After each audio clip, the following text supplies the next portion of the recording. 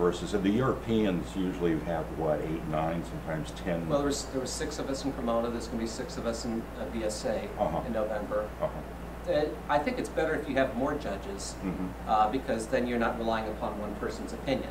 Right. You know, you get a diverse, a greater diversity. Mhm. As I said, in Cremona, we had kind of a rift. Three judges liked one violin, three judges didn't like it. And so overall, the scores sort of average out and balance out, and the cream Yeah. rises to the top. Well, I had a violin in the 2004 VSA up in Portland, and uh, two judges gave me really low scores, about 38, and then the one, one gave me like 85 or a little bit above. Mhm.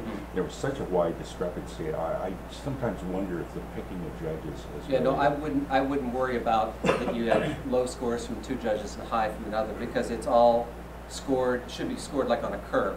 So it just tells you that one judge scored proportionately low, and probably everybody else had lower scores than average. Mm, mhm, So I mhm. don't, uh, it- to me, that doesn't indicate that there's something wrong. Yeah.